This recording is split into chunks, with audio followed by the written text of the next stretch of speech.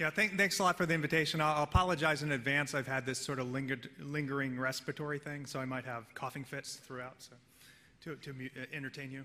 Um, so, so please come up at, as it goes and ask questions. Um, that, that, that will kind of improve things for everything, every, everyone, I think. Okay, so I'm going to be talking about scalable Bayesian inference. So I'll, I'll start out with the motivation and background, um, and then I'm going to have like two subparts. The, the first part is on big N, or big sample size, and so you know, you can very roughly think about two different types of scalability. The one would be where you have a data set that's really has enormous sample size, but the you know the um, the complexity per subject is not that high, and so you might have you might be trying to do a logistic regression or something like that, and and you might have uh, millions of subjects or hundreds of millions of subjects, and you want to do something like logistic regression that's not that complicated. Okay, and so that'll be the kind of first chunk of the talk. And then probably more after the break, I'll, I'll focus more on high dimensional data, which means that you have a lot of um, dimension per or complexity per replicate, so per, per, per, subject if it's a biomedical study. And that could also be um, a big model. And so if you had like a deep, deep neural network or some nonparametric Bayesian model with with many, many, many, many parameters, that would essentially be a kind of big P problem. And so we can roughly think about uh, big N and big P. And big N, I would say, would be an area that's much more well addressed by the existing literature, and big P is more of a, an, emerging area of, for which there is some methods in specific particular cases, but not uh, sort of a lack of overarching methods that can deal with broad problems. Okay, so um, so one thing I'd like to do partly in this tutorial is, is to motivate more of you to work on Bayesian methods because I think that there is sort of vast open problems um, and, and, a huge potential for new research that can have a really big impact um, in, in broad variety of, of areas um, in, in industry, science, policy, et cetera, okay? And so obviously there's a really a, a huge literature already focused on big data. But, but I'd say most of the focus has obviously been on optimization methods. And so as a result, there's, there's potentially, I would say, orders of magnitude more people working on trying to do optimization in really large date, complicated data contexts than there are people working on Bayesian methods that do appropriate uncertainty quantification. And, and I think that, you know, that's really the core of statistics and really important in a lot of machine learning applications is we need to think more about uncertainty and doing valid inferences in the presence of uncertainty. And so if we have some um, algorithm that produces what I'd call a point estimate, it might be a point estimate for a, a, a prediction for an input-output relationship.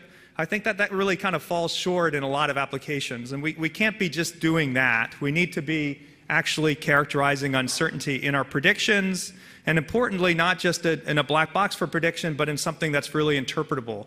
So that's really key, I think, um, in science and, and in other application areas. And so we want to go beyond optimization methods.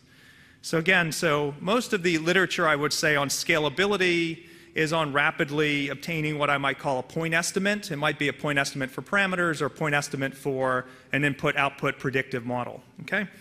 And we'd like to be able to do that even when the sample size n and the overall size of the data is immense. I would also advocate for people working less in a bandwagony way. I, think, I would say that there's been a huge focus in statistics and machine learning on people working on very similar things, on, for example, linear regression, um, certain types of imaging problems, et cetera. Um, but there's actually huge open problems that remain uh, essentially untouched, where we have almost no methods that are reasonable at all for these types of problems. And so many of those problems fall into the, into the sciences, for example. We might want to do something like uh, precision medicine. For, so we have a, a millions of observations observed on each subject for different biomarkers. Um, they might be genomic, they might be neuroscience biomarkers, and we'd like to use that to um, predict patient health and to target um, treatment for different diseases. Okay, and we'd like to do something like that, and we have no, really no idea how to do it currently. Okay, so I, I would again advocate for people working on on those types of problems, on different types of problems. Try to avoid working on the same problems everyone else is working on. Okay, so my, my focus is in general on probability models. This is obviously obviously a tutorial on scalable Bayesian inference per se, but I would say um, it's often useful to take the Bayesian paradigm, which is really nice in terms of using probability to characterize learning from complicated data, and, and take a little step away sometimes. And so the main thing is that, that we have a, a, really nice approach for learning from different types of data, and we're, we're characterizing uncertainty in that learning and in our inferences and predictions in a valid way. And, um, and that's really useful if we're using a probability model, and Bayesian statistics is one type of formulation of that. Okay, so we, would like to have some sort of general probabilistic inference algorithm for, from, from complex data. We'd like to be able to handle arbitrarily complex probability models. And so, you know, often nowadays data are really increasingly complicated, and we need to be able to model the complexity of the data. I've been mentioning this precision medicine application you know, you could think of data from patients coming into um, healthcare clinic, and there's a lot of censoring, um, observations collected over time, um, selection bias, which is something which is incredibly important to take into account. Um, we can have missing data that's informatively missing. And if we don't characterize this sort of complexity, if we just kind of throw some sort of neural network or some algorithm at it, um, putting all this data together, um, not taking into account the selection that occurs of the data that we observe um, relative to the data in the general population, then we're going to get kind of bogus garbage, basically, out of the, out of the results. Okay, so we'd like to, the algorithms to be scalable to huge data, potentially using many computers. Okay, and, and accurate uncertainty quantification is a crit critical issue. I would say that you know, a lot of this scalable Bayes inference, and I'll touch on this, has been focused on algorithms such as variational Bayes, where you might actually not characterize uncertainty very well at all. And so you might have an estimate of a posterior distribution that is much more, more, much more concentrated than is realistic um, given the actual uncertainty you have in a problem. And so we'd like to be able to actually accurately characterize uncertainty. Also, um, an, an, issue that I'm going to touch on, um, and in, in, a chunk of this talk, is on robustness of inferences. And so, one, one thing that's really interesting is that, okay, we take a Bayesian approach. Well, a, Bayesian approach is one example of a model based approach to inference. And by model, I mean that we need to specify a likelihood function, a uh, generative likelihood function for the data. It could be that that likelihood function is very complicated and intricate to, to allow for a lot of flexibility. Um, but then what we're worried about is this sort of robustness of inferences. And so that, that can be a particularly large problem as the sample size gets really big. And so it's, it's kind of well known in statistics, for example, let's say I, I have a likelihood or some base model, and I might want to be doing some type of hypothesis testing or variable selection or, or some other type, types of inferences on the model structure. Well, what, what often happens is, well, if the sample size gets bigger and bigger and bigger and bigger, then everything becomes significant. And so we have, if we have millions of observations, all your p-values are, are, significant, um, your model gets bigger and bigger and bigger, kind of without bound, and, and we become um, very um, non-robust in a sense. And so we might have a model that's really good, that could be very, very nice at interpreting the data, but then it, the, the actual data you observe might not be coming exactly from that model because all models are wrong. It might be coming from a slight perturbation of that model. And that, that, that becomes a big issue when the sample size is really large. And so we end up having um, sort of less robust inferences as sample size becomes really, really big. And if we just care about some sort of predictive input output black box, which is a lot of machine learning, um, then we may, might not care so much. But uh, if we want to actually do kind of scientific inferences based on our model based inferences, that, that, then it's a very big issue. And I'll, I'll, discuss that. Okay, so that's the general focus. Um, Obviously, we're going to be focusing on Bayesian approaches. I would say Bayesian methods offer an attractive general approach for, for modeling complicated data. Um, and so to just, just sort of set the stage here, many of you, of course, will um, uh, be familiar with basic Bayesian inference, but probably not all of you. And so here we're going to say, well, we have some sort of likelihood model. And so this is some generative probability model that could generate the data you observe. And I'm going to say that's y. And I'm going to put a superscript n on that y um, to, to, index the, the, sample size, okay? And so um, I might be dropping some of that, that fine notation as we go, but let's just say the like, this is the likelihood of some giant collection of data y superscript n, and it's parameterized by some parameters theta, okay? So this might be some mixture model, it could be um, some sort of generative um, neural network, it could be a Gaussian process, it could be anything. Um, and so that's our data, here's our parameters. And so if we take a Bayesian approach, then we need to put down a prior probability distribution on these parameters, and I'll call that pi of theta. Okay, and so we have a prior pi of theta. That sort of encodes information in, in the parameters prior to observing the current, the current data. And now the likelihood is encoding information in the data about those parameters, and then we kind of put it into our Bayes rule. Okay? So here's the prior, here's the likelihood, and now we, we need to turn this into a probability distribution, and so we normalize it. So we divide by the integral of the prior times the likelihood over the parameter space. That's often known as the marginal likelihood or the evidence.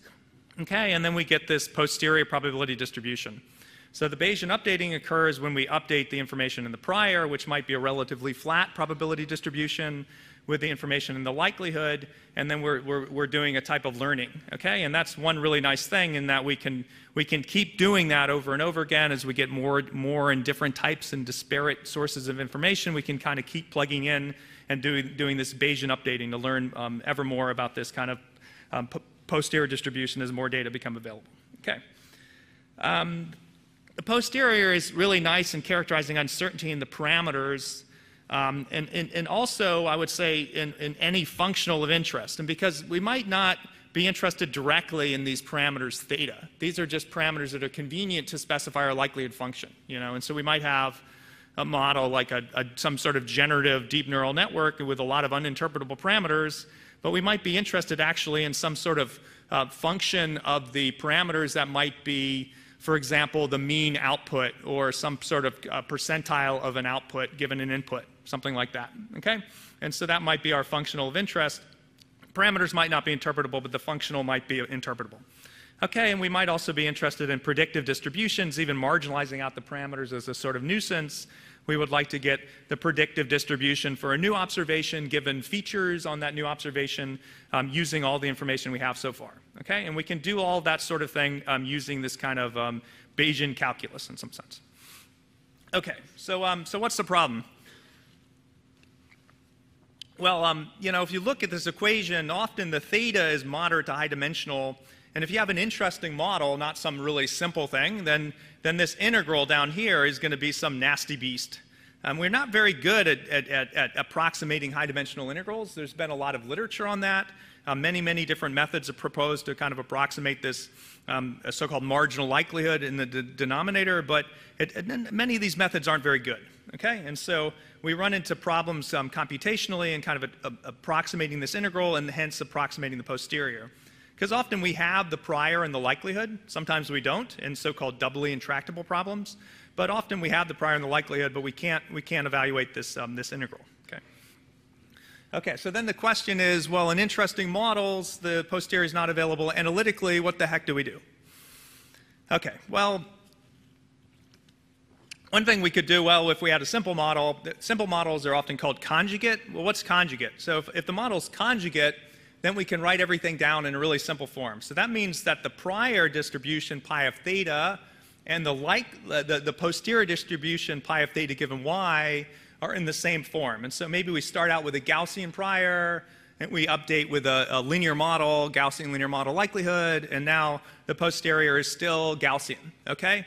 Or it's still a t or normal inverse gamma distribution or some sort of exponential family form, okay? And, and so if we have that type of conjugacy, then life is good. We can write down the posterior analytically, and we can do a lot of things, okay?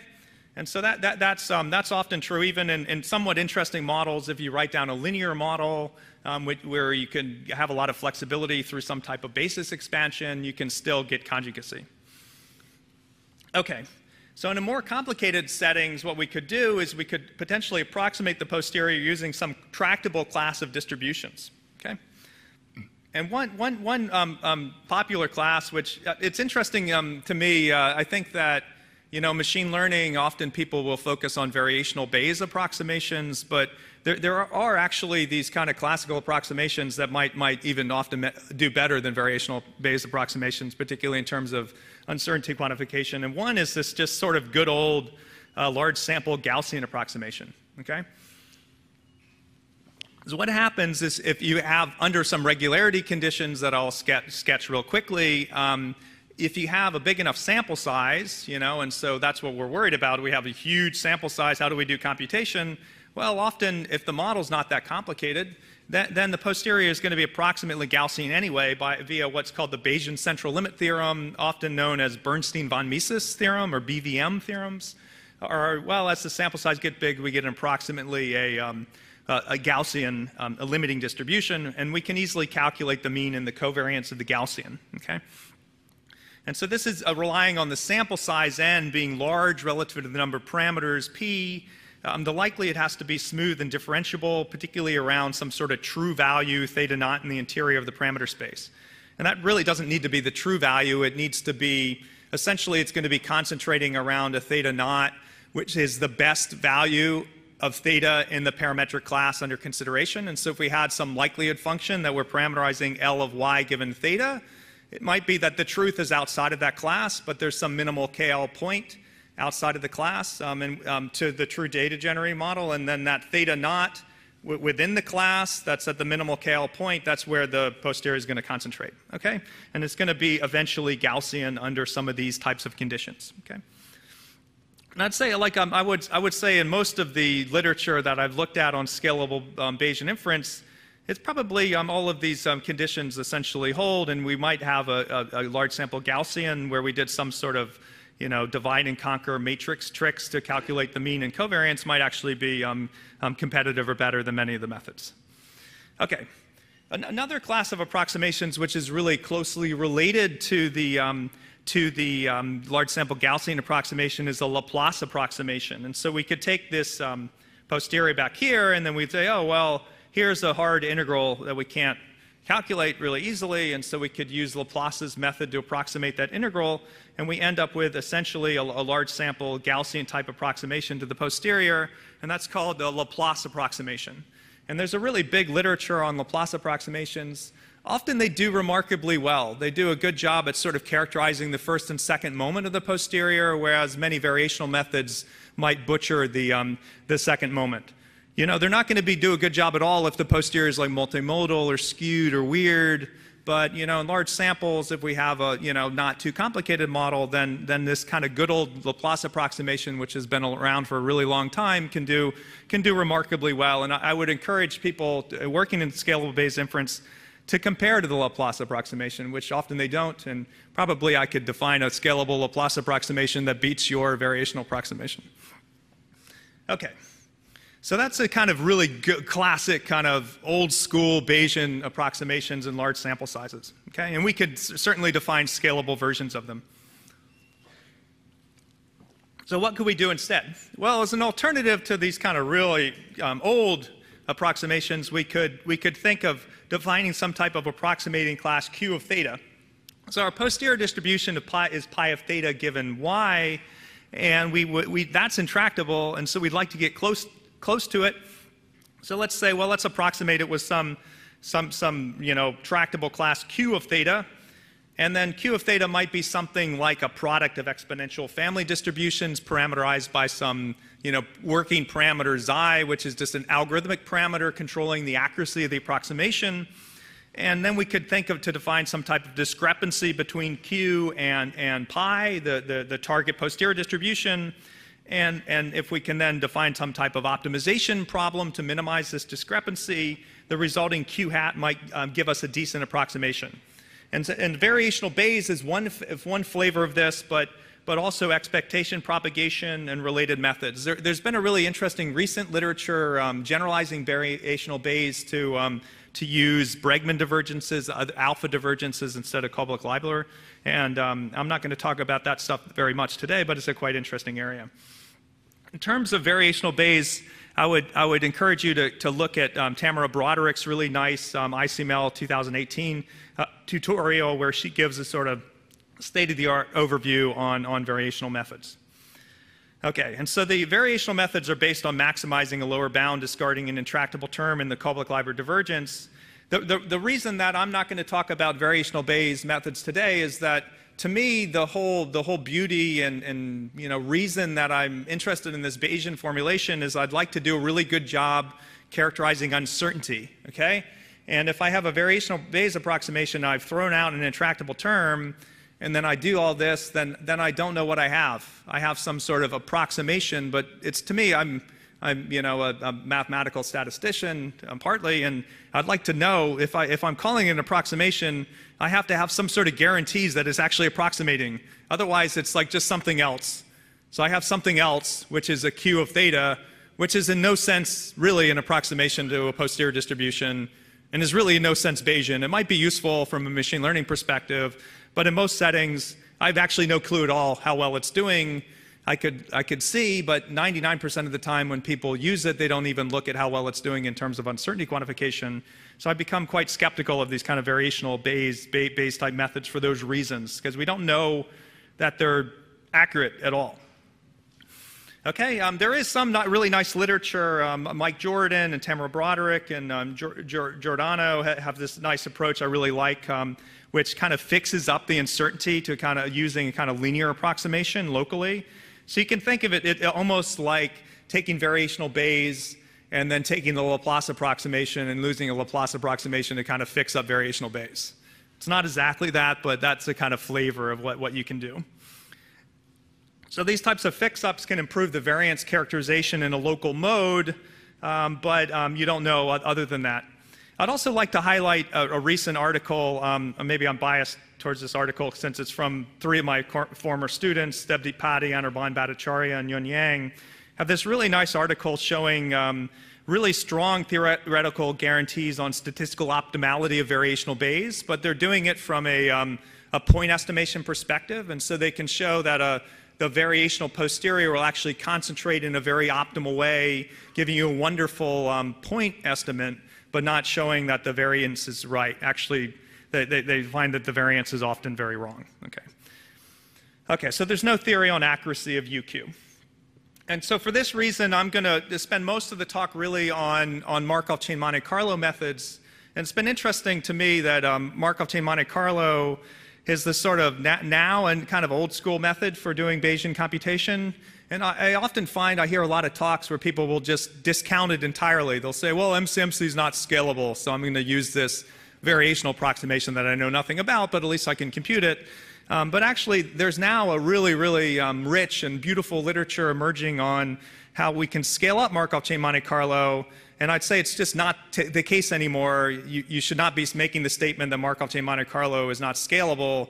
It's like saying anything else is not scalable. Oh, well, the EM algorithm is not scalable. Well, that's because you're not using a scalable version. Okay, so if you just use a naive version of Markov chain Monte Carlo, yeah, it can be really bloody slow. But now we have a lot of tricks for scaling up Markov chain Monte Carlo, and there's an emerging beautiful theoretical and, and practical literature that, that I hope I can inspire some of you to, to, to add to um, in, the, in the coming years, okay? And so um, the one reason that Markov chain Monte Carlo has kind of remained popular is that these, these analytic approximations like variational Bayes, um, we can't really show that they do well, and they, they might not do well after, out of narrow, outside of narrow settings. So Markov chain Monte Carlo and other posterior sampling algorithms provide, provide an alternative, okay? And so, um, so MCMC, what the game is and the kind of beauty behind it in some sense is that we, we can take, um, we can take um, sampling, we have a sampling algorithm, and we, we set up a remarkably simple sampling algorithm where the, the, the, stationary distribution of the samples is the true posterior distribution exactly often, though we might put in approximations. And so we can, we want to, um, the goal is to draw samples, not get an analytic approximation, but draw samples of pi of theta given y, the posterior distribution. And the one reason this is really nice is that, let's say we have a complicated analytic approximation of pi of theta given y. Well, that's really actually not that useful to me because, you know, theta might be a thousand dimensional I can't visualize it. I can't do anything with it. And so, really, I'm not ever usually interested in the full posterior distribution. I'm interested in some functionals. I want, I want a one dimensional functional, for example. I might want the predictive distribution of, of y for a new patient coming in, um, given their features or something like that. I'd like that, you know, or I'd like, I'd like to know something about particular uh, functionals of the parameters that are interpretable, okay? But if I have an analytic approximation, I can't get that at all. But if I had samples from this, then I would have wonderful, I could do a lot. I could just draw a bunch of samples. I could apply the functional to each sample and then I can calculate any posterior summary I want. I can calculate the mean, I can calculate an interval, I can calculate a, a kernel smooth density estimate for that, for that one-dimensional functional that I'm interested in. Okay, and that's usually how people do things in practice. And so, so samples, I, I don't see that there's a really good substitute for samples. Um, samples are not inherently slow or unscalable, and they give us an enormous amount of flexibility in, type, in terms of the types of inferences that we can do. Okay. Okay. So. Um, one of the beautiful things about Markov chain Monte Carlo is it bypasses the need to approximate the marginal likelihood. So that's this dude in the denominator down here. He's a horrible creature.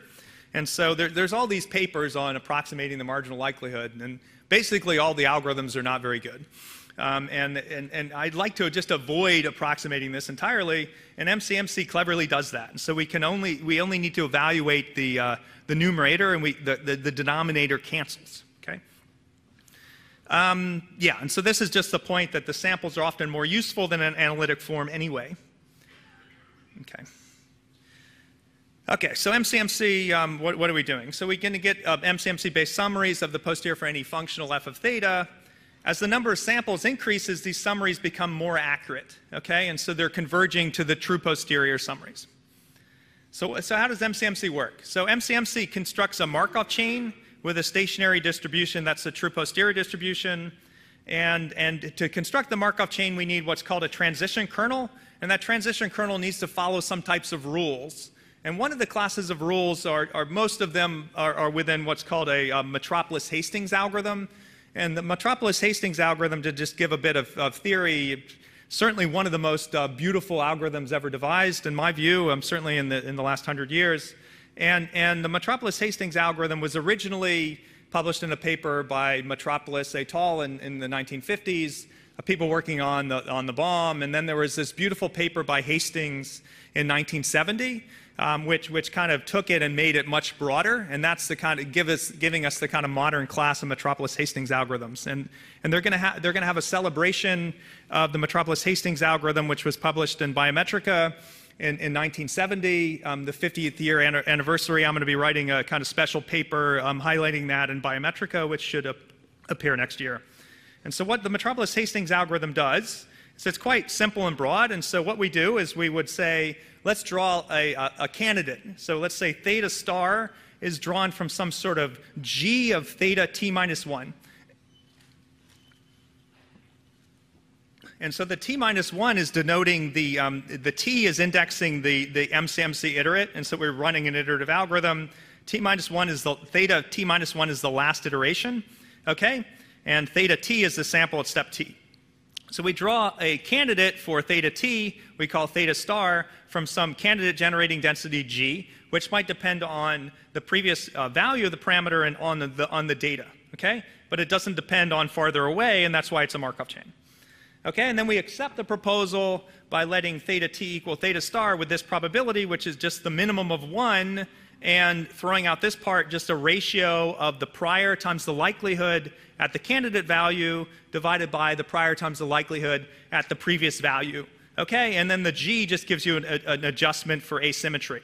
And it's a Metropolis algorithm if there's no g because we were limited to using a symmetric g in using Metropolis. Okay? So this is really simple. If we have some g, we can always sort of do this as long as we can evaluate the prior and the likelihood. Okay, so, um, so what, what's the game then? Well, the, the, the, if we wanted to do something efficient and particularly formally scalable to very large problem sizes, large N and P, um, then we need to choose a good proposal G. So G can depend on the previous value of theta and on the data, but not on farther back samples, except in what's called ad adaptive Metropolis Hastings. And so the reason is the Markov chain is that we're just sampling based on the previous value of the sample, but not 20 samples ago. So it's like a first order Markov chain. So um, the special cases, the Gibbs sampler, what the Gibbs sampler does is we, if we just say all the parameters are theta, it's a big giant vector parameters, we have theta 1 to theta p, then we can draw subsets of theta from their exact conditional posterior distributions fixing the others. We have a Gibbs sampler. And so what we might do there is it might be that, well, theta 1 is like if we fix all the other parameters and go through the algebra, well, that might just be a Gaussian distribution. Theta 2, fixing all the parameters, might be a, a gamma distribution. And theta 3 might be a, a Poisson distribution. And we might just iterate through um, sampling from those conditional distributions. That would be a Gibbs sampler. Um, a random, that would be a special case um, in which the G cancels with the other part and we always accept.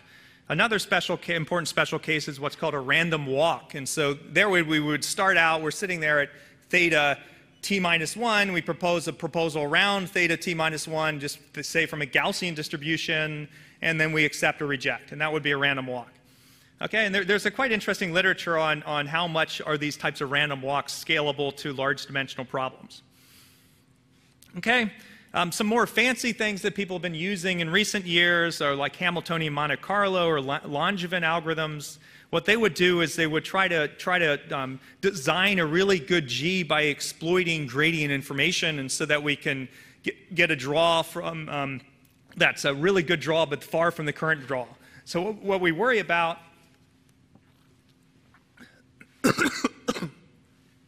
what we worry about is, is ha having a G which gives you a value really close, but then it's accepted with a high probability, but then, but then it doesn't move far enough, and that can create inefficiency. So these HMC or Langevin algorithms are designed to overcome that.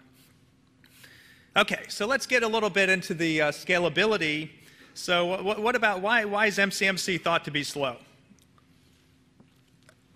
Well, you know, potentially the time per iteration might increase with the number of parameters or unknowns and can also increase with the sample size, okay? This would also be true for just about every optimization algorithm in the world as well, um, but we can start there.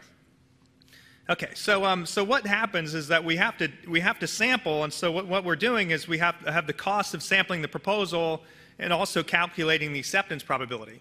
And so if we, you know, if we think about just a simple random walk, we're drawing from a multivariate Gaussian distribution, well, that might be, not be very expensive, but then we have to accept or reject, well, that's a ratio of the prior times the likelihood. So we have to evaluate the likelihood. Okay? Well, that might be some sort of polynomial in the sample size evaluating the likelihood.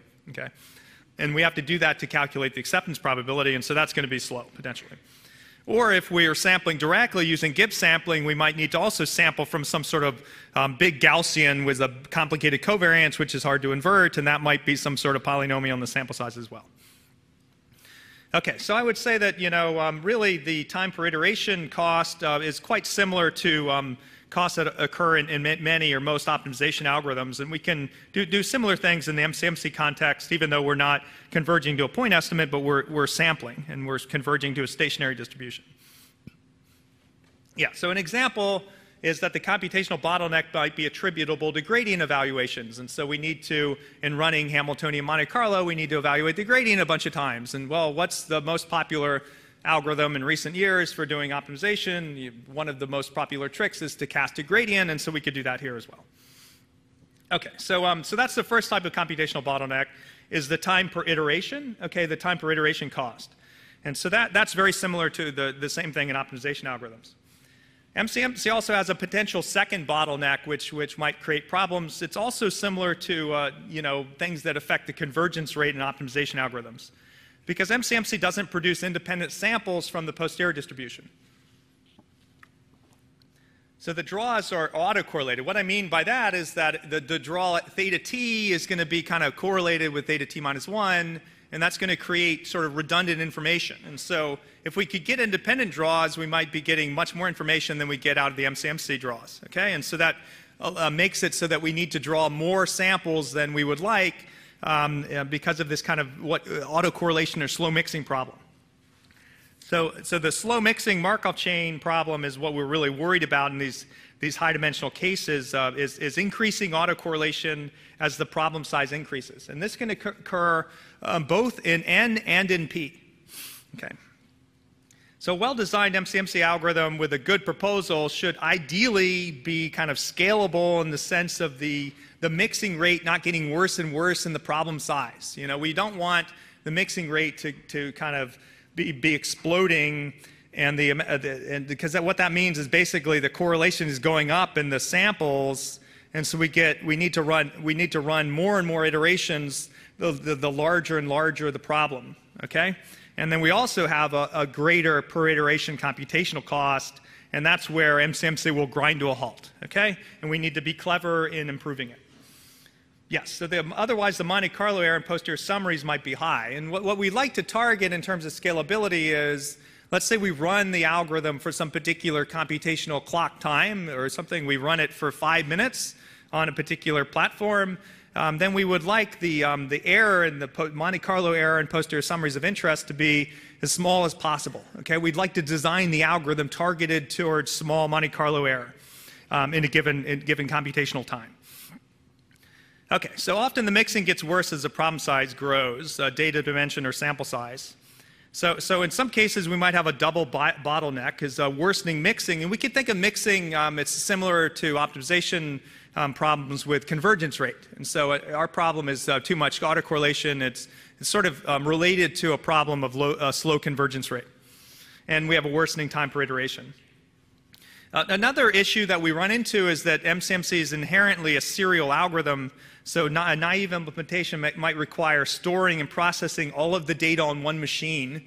And so if we like just take all the data on one machine, and it's just enormous amounts of crap in memory, and then we're trying to do like this kind of iterative algorithm and like one processor, then you know everything's going to be horrible, of course, and so we need to be smarter than that. Um, but it also it limits the ease at which divide conquer strategies can be applied. Okay, so, so th these are the reasons that it's commonly just stated that MCMC is it's just simply not scalable. But, but I would say that each of the above problems can be addressed. There's already uh, methods in the literature, and there's going to be a kind of rich emerging literature in this area, I think. And I would say that this is particularly promising because there's at least an order of magnitude, if not orders of magnitude, more people working on um, optimization and trying to develop scalable optimization algorithms than there are working on scalable sampling algorithms. There's really not only a handful of people working on these problems, and, and even given that, there's already been some really quite, quite nice uh, developments, and I think that that's quite promising. Okay, so for an MCMC algorithm to be scalable, the Monte Carlo error and the posterior summaries based on running for some time tau should not explode with dimensionality. Um, some popular algorithms have been shown to not be scalable, while others can be made scalable. And that's one, one interesting thing. Like we, we, we were working recently, you know, one of the most popular algorithms for Bayesian computation and categorical data models is data augmentation, where you will throw in a bunch of latent data. You'll, you'll sample a bunch of latent data. You want to run a Gibbs sampler instead of having to tune some Metropolis Hastings algorithm. And so, so you'll, you'll sample a bunch of latent data.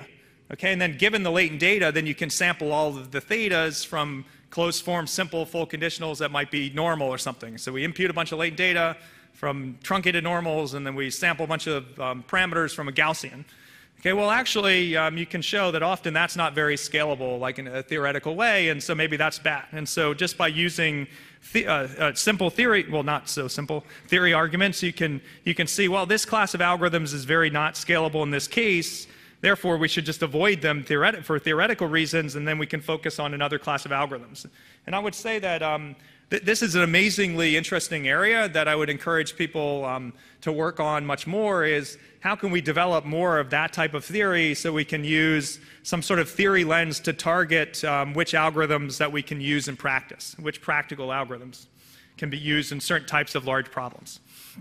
Okay, so anyway, so, um, so that's my, my very long introduction in some sense, but I'm going to um, focus on highlighting some of the relevant recent work, um, starting by focusing on big N problems and then transitioning to big P. And I'm going to give a disclaimer in that I'm just, um, you know, given the time, I'm not providing like an overview of the literature, but I'm just focusing on some, some of the work we've done, and I'll give references, and then we've cited the broader literature in our papers. Okay, so now we're on the big N, N and I'll give a little bit before we break. Okay, so some solutions to the, uh, the big N problem. The first is what's called embarrassingly parallel Markov chain Monte Carlo. One of the types of solutions that I, am not going to talk about is, is to just take any MCMC algorithm and then say, well, maybe I can use GPUs or something to break up the computation. That, that, that I think is somewhat limited in scope because of the communication costs. And so if we really want to scale up, I, I'd say, well, we'd like to be able to have a giant data set stored on different computers, not be sending it around, not be sticking stuff on one computer, and um, limit communication costs. So maybe we can take the data and throw shards of the data on different computers, run MCMC in parallel for different subsets of the data, limit communication costs, and then combine. Okay? And that's called EPMCMC. And there's some really quite nice algorithms um, in, in that class um, by us and other groups as well. An- another type of class of algorithms is what I might call approximate Markov chain Monte Carlo. Then we could just look at a Markov chain Monte Carlo algorithm and be like, well, geez, that gradient calculation is really bloody expensive. Let's use stochastic gradient there. Or over here, let's use some subset of the data.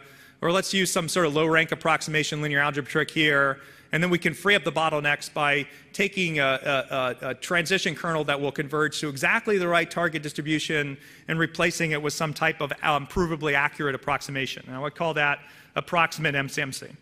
And these two can be used to, together as well, of course. Um, something that I haven't been talking about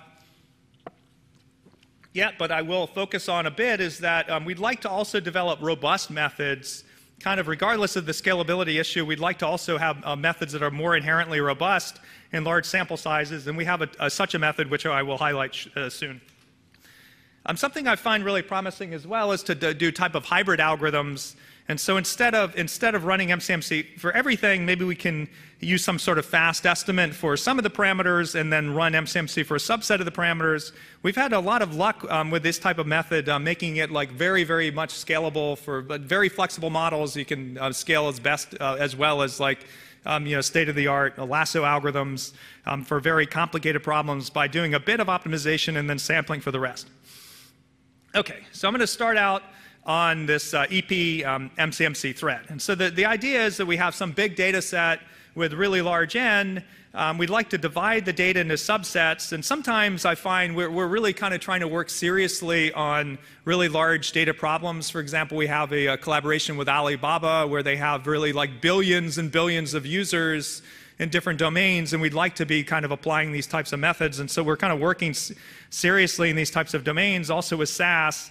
And, and we find that often you can't really move the data around and have much control of the subsets. And so that's an interesting area is to actually, where you're just kind of stuck with data on some machine from a particular client or some subset of users. We can't move things around that much.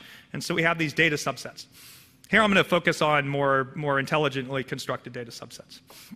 Okay, so we, we, we take big data, we, uh, we, we break it into shards, and then based on each shard of data, we get a subset posterior, and then we somehow combine them magically into a beautiful, accurate posterior approximation.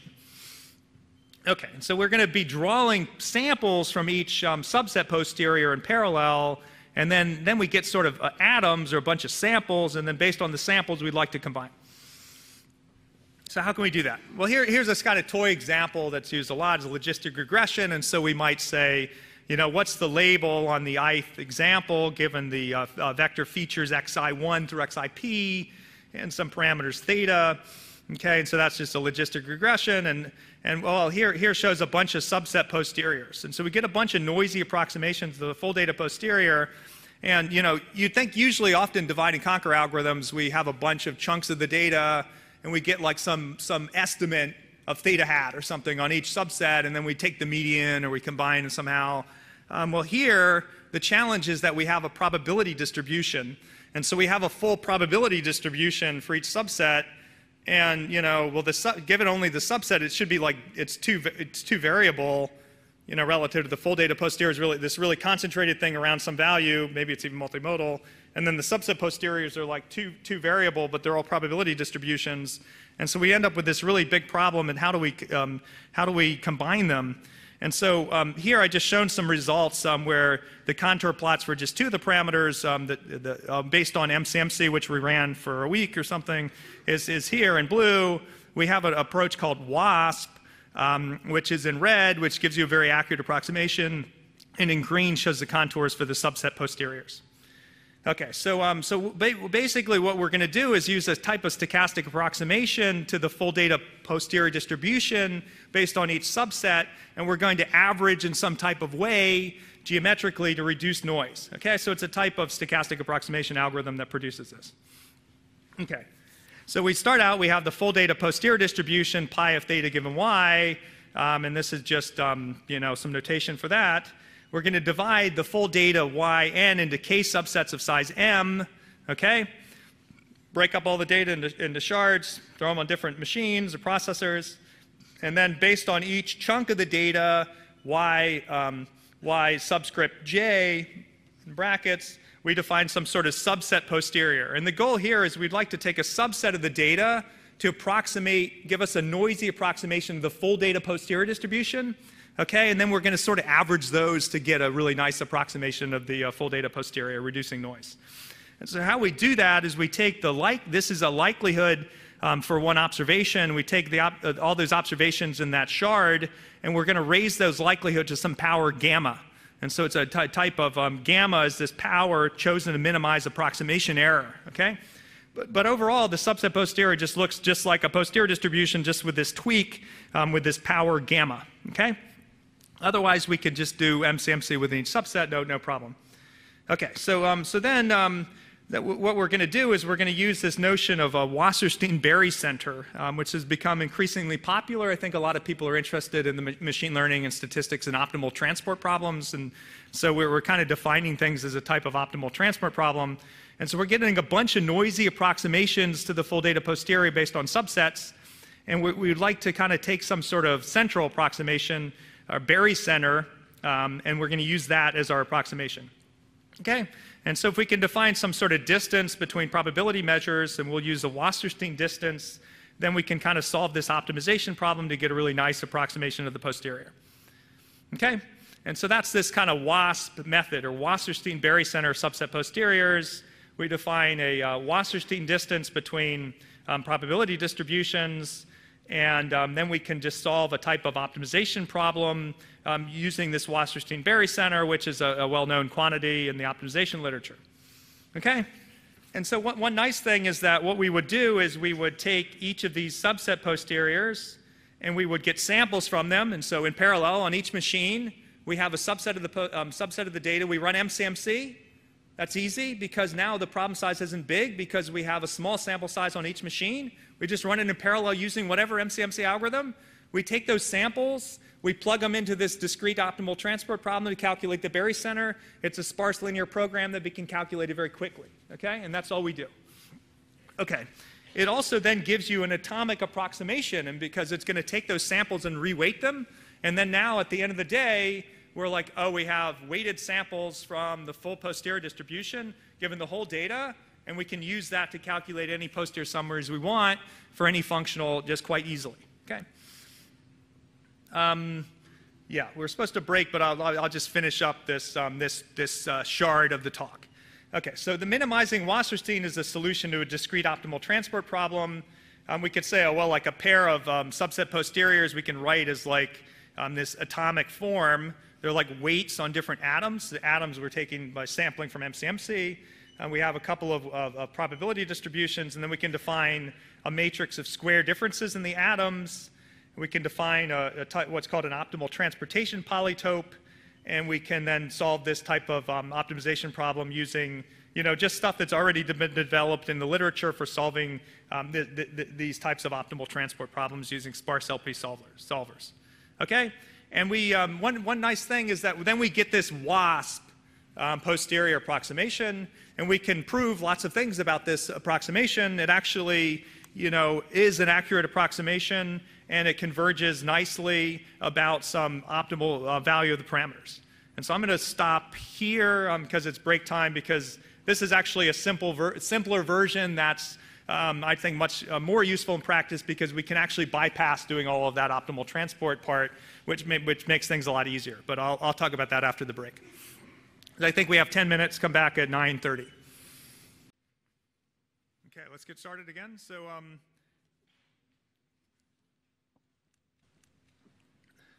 so th this is another variant that's um, kind of similar, but that, that, that we just had published last year in Biometrika. So the, the idea here is that usually when we're doing Bayesian inference, we're, we're almost always focusing on one-dimensional functionals. And so we have this joint posterior distribution, which might be for 5,000 parameters, but we're usually focusing on one-dimensional things when we're reporting the results. So the one-dimensional thing might be the probability of a class label or a predictive distribution or you know, a parameter of interest or a function of the parameters of interest. It's almost always a one-dimensional thing that we, we report at the end of the day. Okay? So we're reporting point and interval estimates for different 1D functionals. Okay, so keep that in mind. So, um, so if we do that and we think about, well, the, the Wasserstein barycenter of the subsets, it has an explicit relationship with the subset posteriors in 1D, okay? In particular, the quantiles of, of uh, are simple averages of quantiles of the subset posteriors, okay? And so th- this leads to a really trivial algorithm. And so the algorithm is super, super trivial. And so what we do is we have a giant data set, we break it up into shards, we throw those on different machines, we run MCMC in parallel with the likelihood raised to that power that I mentioned. Um, and that's really easy. And okay, now what do we do? So now we're interested in some posterior functional f of theta or some predictive distribution, um, f of y given x. Okay? Well, we, we keep track of that, um, samples from that on each machine. We, we calculate a, um, a percentile of the posterior distribution on each machine in parallel. We feed those back to the central processor and we average them. Okay?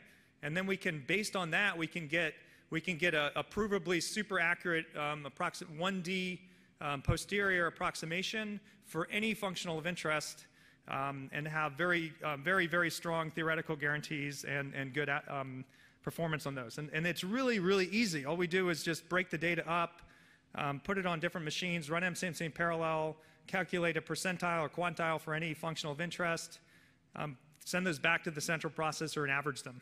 Okay. Uh, we didn't realize this at the time, but it's sort of reminiscent of um, a paper that Mike Jordan and collaborators um, came up with called Bag of Little Bootstraps. So it's sort of almost like an MCMC version of that. Okay, so we have quite nice theory showing accuracy of these approximations.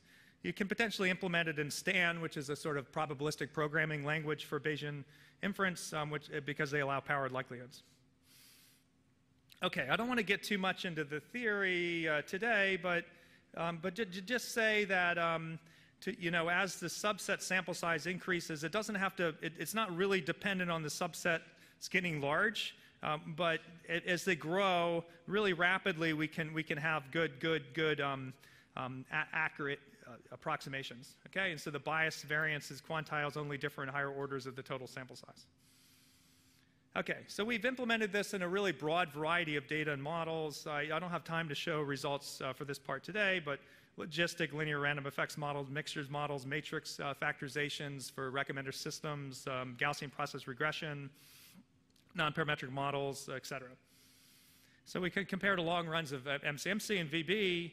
It, it's much, much, much faster than MCMC doing this. Um, and you get sort of a win-win because you think, well, the, the, the, time per iteration is too slow as the sample size increases, and also the mixing might get worse with the sample size, but we're, we're breaking up the data and running it in parallel, and so we're exploiting parallelization to improve the whole mixing issue and also massively improve the time per iteration, okay?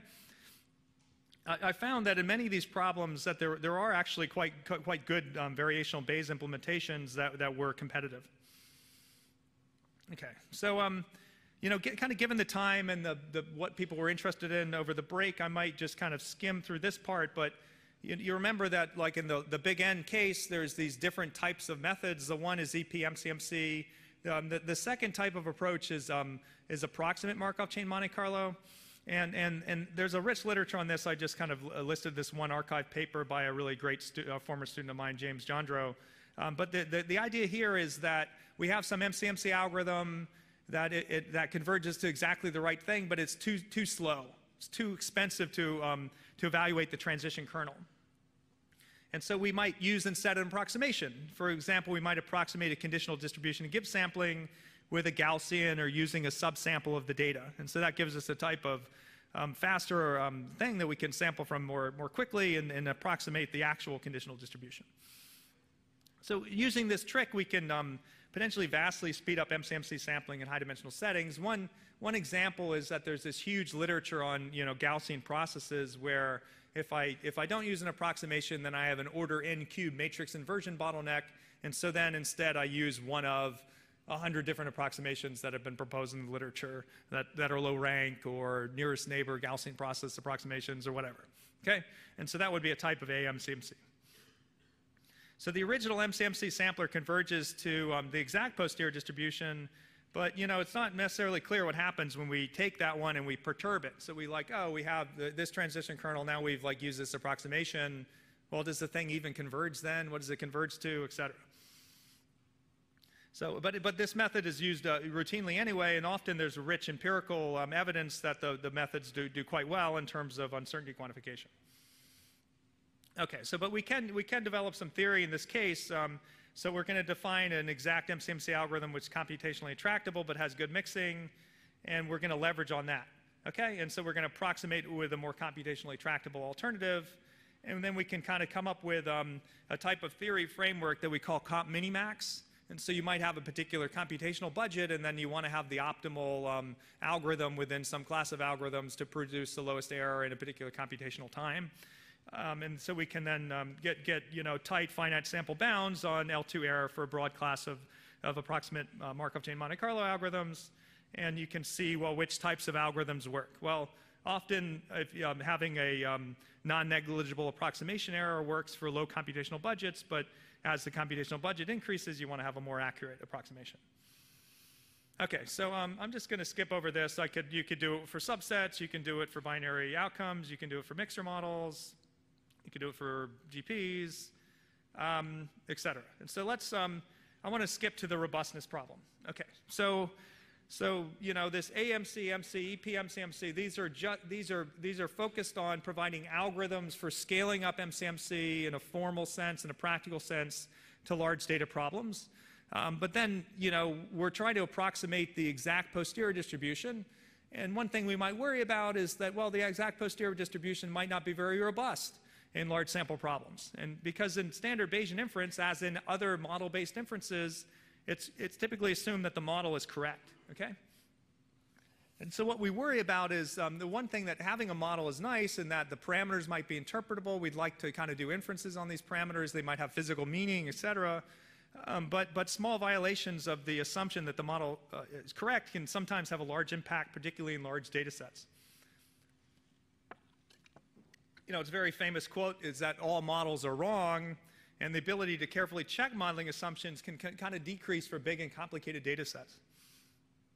So what we were interested in doing, and this is joint work with a former um, a postdoc, a brilliant guy uh, um, who worked with me, Jeff Miller, who's now at, now at Harvard in biostatistics, and, and we came up with this idea that you could maybe potentially tweak the Bayesian paradigm to be in, inherently more robust.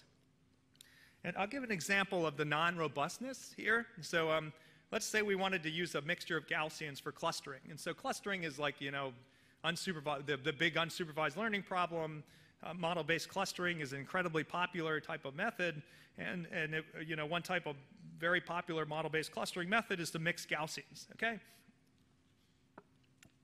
Let's say that the true data distribution is like this, okay? So we have a perturbed mixture of Gaussians. And so we're going to take a, a mixture of Gaussians and then we're going to say the true model is not exactly a mixture of Gaussians. We're just going to change the distributions just slightly. So that a mixture of Gaussians would still be a nice approximation that we would, might want to use. Um, and then we're going to see what happens as n increases. So the, um, uh, the, going down here, we go from n equals 200 to n equals 20,000.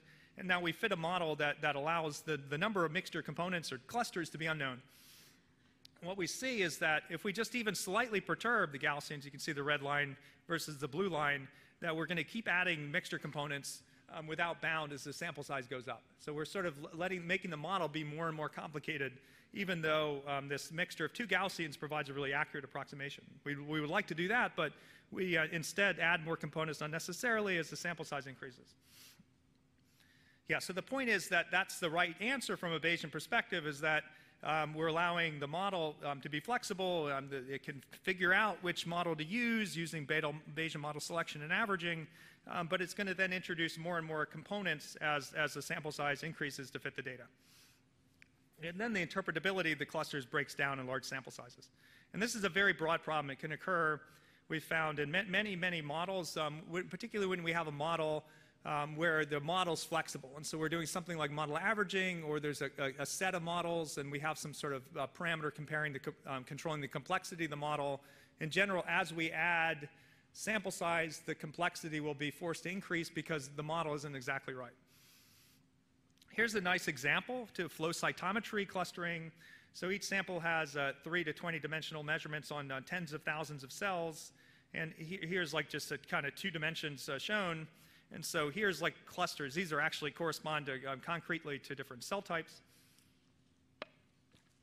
And this is based on manual gating. And so somebody goes in and labels the data. Um, and then here, if we use a mixture of, of Gaussians, it'll break up these like very non-Gaussian looking, but you know maybe approximately Gaussian into different subclusters and overcluster. Okay, so we'd like to do it automatically, but then these uh, the, the kind of usual um, model-based clustering methods don't don't work very well, and, and distance-based clustering also doesn't work very well. Okay, so what can we do? So if the model's wrong, why don't we just fix it? Well, what we, what we could do in this case is like, well, let's, instead of using a mixture of Gaussians, like come up with like a mixture of some strange kernel. And there's a, a literature on that, but it's kind of hard to do that, you know, come up with these weird, kind of complicated, flexible kernels. And then we run into computational problems um, for, you know, implementing these models with weird, flexible kernels. And so we maybe don't want to do that. Um, yes. Also, the simple model might be inappropriate, uh, more appropriate even if it's slightly wrong. Um, you know, it might be that, that, you know, the data are always noisy. It might even be that the mixture Gaussians is right, but we just have some noise in the data, contamination in the data. Somebody's, um, you know, typed in some observations that are slightly wrong, or there's some machine calibration issue. And so we'd like to like allow for a slight deg degree of contamination. Okay. So what we proposed, um, this paper just came in in JASA, is as follows. And so we call it C-Bayes, um, or a coarsened posterior. Maybe it's not a very sexy name, but C-Bayes. So here's the kind of setting. And so we're going to assume a model, P of theta and a prior pi of theta, okay? So we're going to say theta i represents the idealized distribution of the data. So that's over here. So theta i is the true state of nature about which one's in interested in making inferences, okay? Um, but then, you know, um, we're going to say that the, the x1 to xn, or let's just say for now, or IID, you don't have to have IID in any of these methods, or uh, un, unobserved idealized data, okay? But, but the observed data are actually slightly corrupted version. And so our, you know, our observed data are never perfect. So we're saying like, well, there's these idealized data that we could have generated, but it, that would be under these very perfect conditions. In reality, we have these like error-prone conditions where we observe data little x1 to xn instead of idealized data big x1 to xn, okay? But, you know, we think that, uh, that the, the statistic, some deviance or statistical distribution um, are close uh, for the observed data, little x1 to xn, and the corrupted data, okay? And so that's the game. So we're going to say if there were no corruption, we should use the standard posterior. That would be pi of theta given, given big X is equal to little x. Okay? Um, but due to corruption, that would be clearly incorrect, and that causes the problems with, with, with you know, too many mixture components and the model growing in complexity with sample size. So instead, what we could do is we could condition on what is known, which is just pi of theta given some sort of um, the distribution of the data um, uh, uh, the, the, idealized data and the observed data, those two things are close. They're within R. So we can define some sort of discrepancy between the um, empirical distributions of the, of, the, of the data observed and the data, um, idealized data generated from the assumed model. Okay? So this seems kind of complicated, but it'll, it'll actually turn into something quite simple. So R, R might be different, difficult to choose, and so R is this sort of tuning parameter controlling um, the kind of model mismatch or model misspecification in some sense, and uh, we could put a prior on the R, um, and, and, then we could ha have some sort of um, class of posterior distributions, okay? So what, what happens is that, that we could, well, you know, to do this in practice, we need to choose a D, a discrepancy, um, as well as the R. So if we, if we do something in particular choosing relative entropy, and we go through some uh, mathematical calculations, then we can show that the, um, the, the, C posterior distribution, which is conditioning on, on this kind of event, is, is, is very close to this guy, okay? And so this guy is what? So this is the, the pi of theta, that's the prior distribution of theta, and now this is what we have in place of the likelihood, and like um, we have um, you know, there would be no, no, no, that wouldn't be there at all if we just had the regular likelihood and if the model was perfectly specified. But instead, due to the, due to the misspecification, we've raised to some power zeta n, okay, each of the observations. And the zeta n is just alpha over alpha plus n, okay? And so this, we've taken this uh, likelihood, we've raised it to a power, and raising it to the power is going to automatically give us more robustness, okay, if we use this power. And then we can, you know, as in the EP MCMC uh, algorithms where we had a power, but the power was motivated by getting a good um, posterior approximation and parallel inference, Here we instead have a power that's motivated by uh, robustness in large sample sizes. Okay? So the power posterior enables inference using standard techniques. We can, we can use conjugate priors, or we can also use MCMC, just using this um, likelihood raised to a particular power. Okay, so I'll il illustrate this kind of model misspecification issue with just this really simple coin flipping example. So let's say our interest was in testing whether or not the uh, coin was um, unbiased or not. So we, we, we flip the coin a lot of times, and our, our null hypothesis is that theta is 0.5. So we have a 50% chance of a head. Okay, but then we say, well, the data and practice are a little corrupted, and so they might say they behave like Bernoulli uh, 0.51 instead of 0.5. So if the null hypothesis was exactly true, it would be um, 0.5, but it's 0.51 in our data we observe. So our C posterior is robust to this, but the standard posterior is not. You know, and so the, um, on, the, um, on the x-axis is the sample size. So the sample size is blowing up, and on the y-axis is the uh, posterior probability of the null hypothesis given the data. Okay? And so and technically the null hypothesis isn't true because it's 0.51, but it's really close to true. And so um, what we get is we get that, you know, as the sample size increases, initially we're getting the true, the exact posterior looks like it has evidence building up for the null hypothesis, and then that, but then at some point it drops off, okay? Because then the data are big enough to show that, well, actually 0.51 isn't, isn't 0.5, okay? And we get this uh, uh, kind of um, problem. We, we also um, want, wanted to see whether we could do the same thing in mixture models or in many other models. And so let's say we have a model, x1 through xn, they're IID from some kernel mixture, and we, we do a Bayesian thing, and so we put a prior on the different parameters, and then we um, have this C posterior approximation, okay? And then we can run MCMC. So we could run MCMC for a mixture model, for, for model-based clustering, and, and compare our, our, our C posterior, our more robust posterior, to the exact one. And we, we have an MCMC algorithm that we could easily implement uh, for, for, for quite large data sets, um, and then we could farther scale up using our previous tricks.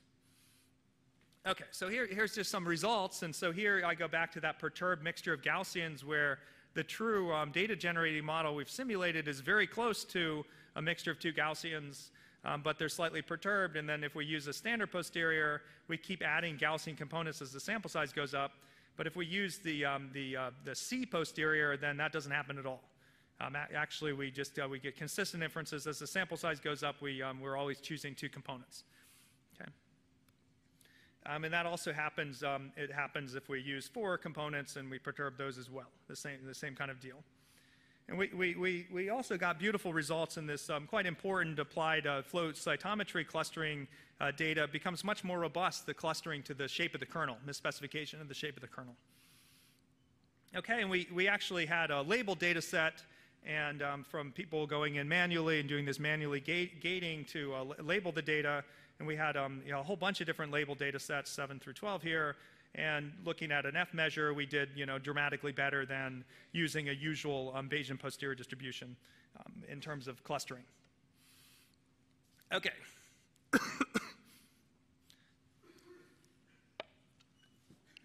so this C-Bayes provides a framework for improving robustness to model misspecification. It's particularly useful when, when interest is in model-based inferences instead of some black box. We want to interpret the parameters, for example, and the sample size is large. Um, it can be implemented quite easily using MCMC and those scalable MCMC tricks we talked about earlier. Okay. Okay, I'm just going to skip that. Okay, so, um, so in the remaining time, I, would like to just transition to talking about um, high dimensional data, okay, or big P. So, so we focused on, on, so far on solving computational robustness problems arising in large N. And I, I would say really um, many ways these problems are quite easier to deal with than, than issues with high dimensional complicated data. So th that, that is really, I would say, the most important problem moving forward, I think, in statistics and machine learning is how the hell do we deal with the, all these complicated data where we don't have a giant sample size? You know, all this stuff with deep learning and everything has been very exciting, but usually in those settings we have really structured data and we have a lot, we have a big sample size, and we have a lot of labels, et cetera. Um, well, what if we have you know data that aren't so structured or the structure is not so clear and the sample size is enormous? Um, I mean, the sample size isn't that big, but the, the dimension of the data is enormous. And so for each patient in a study, I've measured you know, a, a billion different omics things about them, or I've, you know, taken brain scans in neuroscience and measured like their entire brain connectome, you know, and we, we keep getting more and more and more um, higher resolution and better measuring technologies for massive dimensional data, but we, we really don't have uh, statistical tools for making sense of it. And, uh, and often what happens is it's this complete garbage in my mind in some sense is that, okay, well, I have some data set, I have some outcome Y, and I have some features X, and X is really high dimensional, and I don't have that big a sample size, and I'm doing basic science, or I'm doing medical research, or I'm doing uh, neuroscience, and I go in and I and I, I fit some machine learning algorithm, I do random forest or a neural network, or I do lasso or something, or ElasticNet, and I, I get a lot of variables that sp- are spit out. And the scientists are going to like interpret those variables, you know, and then um, really like that's really unreliable and we're running into like a replicability um, crisis in science. And so we'd, we'd like to be able to say in a lot of cases i think that we'd like to be able to say that actually you know scientists we can't do what you'd like us to do um, you've given us a billion predictors and you've uh, run this study on 10 mice um, or uh, 20 patients we can't actually decide which of those predictors are the important ones um, that's just not going to work there's an, a, a, a, we're on the wrong side of some horrible phase transition. But a lot of the algorithms um, in the literature is focusing on giving us positive results. You know, like I stick it in, in this optimization algorithm, here's my features. And it doesn't like flag and say, actually all your features are probably almost surely wrong. You know, like you, you've, got, you've got all false positives and false negatives because the problem's too big. You have too high correlation. The dimension is too high. And so I, I, want better ways to deal with uncertainty quantification. Give me negative results, give me realistic results, um, give me ways to like course in the questions being asked um, so that we can get something much more reliable and reproducible in these high dimensional settings. Is there a way to like learn better low dimensional structures more reliably? Okay? And so that's uh, really beyond Bayesian inference, but I would just uh, you know, like give a plea for many of you to kind of try to work on, on, on these types of problems with me not with me in particular, but you, you, do it and then tell me how, how to do it. Um, okay, so that's the, um, yeah, so these are types of things I work on all the time. And so we have very few labeled data relative to data dimensionality. And, and it, it's really important as well that, you know, even though you're like, oh, I'm in some medical context, I'd like to say diagnose a patient or tell, tell me which, which um, treatment to give the patient. Uh, but we don't really want a black box for prediction. No, no doctor is going to use something that just says, oh, we should do this to this patient. They want to know why, um, well, how is it working, you know, what features are important, et cetera. We often want to do some ver version of variable selection. Okay, so Bayes for big P, I'd say, is a huge topic. Um, I'm just going to pro provide some vignettes to give a flavor in the remaining kind of 30 minutes before we run out of time. Okay, so, um, so one of the kind of very popular things um, in these types of scientific uh, uh, fields that I've just been talking about is to do some type of variable or feature selection. That's often the focus. Okay, so um, you know, one example would be I have some phenotype or response variable for a patient Y, some health response. I work a lot on cancer genomics, so this might be your subtype of cancer. And then I have a lot of uh, a genetic variance, XJ, associated with that response, okay? But there might be, you know, now I have all of these, like a you know, whole genome sequencing and all this stuff, and so the, there might be a lot of these guys.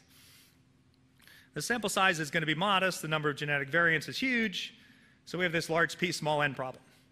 So what do we do? So what, mostly what people do, you know, beyond this kind of Bayes versus frequentist, but mostly what people do are two main approaches. The most popular, I would say, is, is what's called independent screening.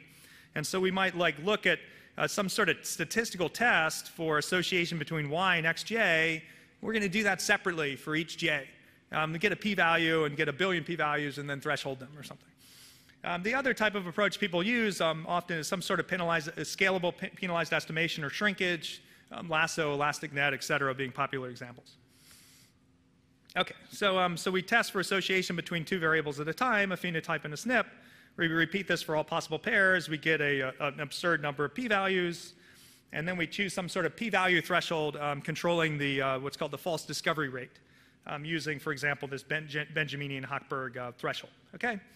And then we get a list of discoveries. So we've taken like this huge number of biomarkers and we've reduced it to some number, and then now we can maybe run follow-up studies on that number to verify. Okay, so, um, so this is really, really, really, really commonly used. It's very appealing in its simplicity. It's quite scalable. We can do this in parallel. We're just doing a simple thing on little pieces of the data uh, um, separately, and so it's quite, quite nice in that sense. Um, it's really widely used. Um, there's a lot, lot, of false positives and negatives, obviously. For sparse data, it's a, it's a really big problem. We might have no power to detect anything. Um, just looking at a pair of variables at a time leads to limited insights. So let's kind of go into the, the, the, weeds here a little bit. And so let's say we have a, a linear regression mo model, okay? And so we have some response yi on patient i, and then we just say model the effect of all the biomarkers with some xi prime beta, a bunch of features, um, genetic features, and, and then uh, their coefficients are beta. And let's just put a little Gaussian error on there. Okay, and so um, if we were, you know, around a while ago before we started making p really big, we might just have done linear regression or least squares. Okay, and we would just get beta hat as x prime x inverse, x prime y. Okay, everything's good because n is bigger than much bigger than p, and we can estimate these coefficients reliably using least squares. Uh, but what happens as p increases or the x, xi's become more correlated, the variance of that beta hat is going to blow up and it's not going to be a very good estimator. Okay, and so if p is bigger than n, you're, uh, it's really not even going to exist. So we need to include some sort of um, outside or prior information in doing this, okay? And so in a Bayesian approach, what would we do? Well, we would choose a prior probability distribution pi of beta, characterizing our uncertainty in beta prior to observing the current data. And then we would use our Bayes rule um, that I described earlier to update the prior with information of the likelihood. So we'd have a posterior distribution of beta, given our response data y, our, our features x, and we would just plug it into Bayes' rule as before. Okay, so if we did, um, if we have a normal linear regression model and we choose a, um, a Gaussian prior, um, then we have conjugacy, and we can just write down the posterior distribution of beta in this simple form. Um, it's just a, a Gaussian distribution, and the posterior covariance is just going to be a part, um, this part co uh, contains information in the prior, this part contains information in the likelihood. It combines those two sources of information, kind of shrinking back um, the, the, uh, the um, MLE towards, uh, towards zero. It's a type of shrinkage estimator. Okay, so that, that's, show, that's shown in the posterior mean. Okay, so we can get the same um, the same answer by just solving this uh, penalized optimization problem, which uh, many people in this audience, I'm sure, have seen a million of these types of things. And so we just have, you know, we're minimizing some least squares plus some penalty. And um, if we had a Gaussian prior, that would correspond to a L2 penalty. So this is known as RIDGE, or L2 penalized regression. And so it has a dual interpretation as a Bayesian estimator under Gaussian prior centered at zero, and a least squares estimator with a penalty on large coefficients and L2, L2 penalty. Okay, so the game here is to introduce some bias the maximum, um, relative to the maximum likelihood estimator while reducing the variance a lot to improve mean square error and enable scaling to um, higher dimensional problems. Okay, so of course we can um, um, generalize that to a broad class of penalized loss functions where we have a least squares part for goodness of fit plus uh, p of lambda of beta, and we, that's a penalty term, and we could we could put, we previously put L2, but we could put on an L1 penalty to have a lasso type procedure. Um, we could, we, um, and if we did that, um, there was a, a, question at the, at the break about um, the Bayesian lasso. Well, the Bayesian lasso would just be, you know, doing this, but we would put a prior on beta that would correspond to a double exponential distribution, and then the mode of the posterior is going to be exactly the solution to this optimization problem. Okay, the nice thing is that that mode is then going to be sparse and contains exact zero values. Um, hence the popularity of the lasso. Okay, so, um, so there's a huge literature proposing many different penalties, um, adaptive lasso, fused lasso, blah, blah, blah. Um, in general, the methods only produce a sparse point estimate, and I would say are dangerous scientifically. And I, I work a lot in real problems with scientists. I, am funded by NIH and working on real, trying to kind of solve um, health problems using machine learning methods and statistical methods. And and I, a lot of the times, um, the, these, these methods kind of pull you in, you do this kind of sparse point estimation, but then you kind of run into problems due to the lack of uncertainty quantification. Okay, let's say there's a parallel Bayesian literature on shrinkage priors. Bayes lasso is actually not a very good shrinkage prior. I was talking about that over the break. It's kind of a really bad shrinkage prior. Um, if we want to be able to deal with a sparse problem where we have, you know, very high dimensional predictors, then um, the mode of the posterior is not something we particularly focus on. We care about the full posterior distribution. Then we want a prior that actually has concentration near zero to shrink away the kind of noise parts or the small signals, and then has heavy tails to avoid overshrinking the large signals. And Bayes lasso um, has only one parameter controlling the tails and the concentration around zero, so it's going to kind of overshrink the, uh, the, the, the, signals away from zero and then kind of confound the kind of number of, of zero signals with, with the number of non-zeros. And so it doesn't have enough flexibility. Um, and so more the state of the art in Bayes, um, Bayes shrinkage priors for high dimensional problems, and we can apply them much, much more broadly than in regression. I would say horseshoe is the most popular, um, and then um, also generalized double Pareto and Dirichlet-Laplace. Okay, and these priors are, are designed to have this kind of more control over the uh, uh, shrinkage at zero versus the tails. Okay, so um, an what's an appropriate prior for a high dimensional vector of coefficients? Uh, many of the priors can be written in this, uh, um, Nick Pol uh, Polson had a nice paper on this, and this global local scale mixture of Gaussians framework where the beta j's are drawn IID, conditionally IID, from this normal zero psi j lambda, and then we put some sort of um, prior on, on psi j and on lambda. So these are the local scales, and this is a global scale. And then we would choose an appropriate f and g. This is the kind of game. And um, we, we, would like to choose uh, lambda to be kind of close to zero to, to, to um, correspond to global sparsity, and then, then psi j to have heavy tails. Okay, so we have, um, we have really a rich literature now on these methods. I'd like to kind of just highlight one paper which, um, which is uh, you know, by a, a, really excellent student of mine, James Johndrow, who's now a Stein Fellow at Stanford and on the job market.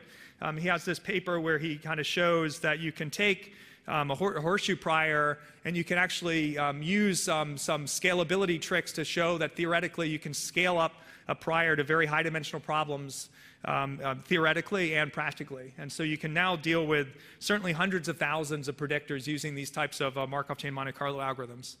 Uh, there's a really another really nice paper is by uh, Martin Wainwright and Mike Jordan and a former student of mine, Yun Yang, in the Annals of Statistics, show kind of um, have a similar result showing scalability for spike slab priors. We have a formal uh, mass at zero um, um, uh, mixed with another another distribution, and then you're doing a stochastic search in a very high dimensional um, uh, space. They show that that also can be designed to be um, to be technically scalable in a, in a CS sense.